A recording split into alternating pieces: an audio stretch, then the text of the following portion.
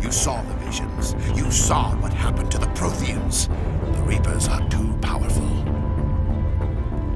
Some part of you must still realize this is wrong. You can fight this. Maybe you're right. Maybe there is still a chance for. for.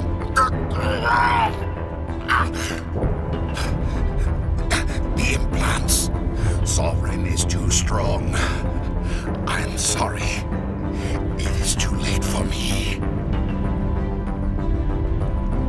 It's not over yet. You can still redeem yourself.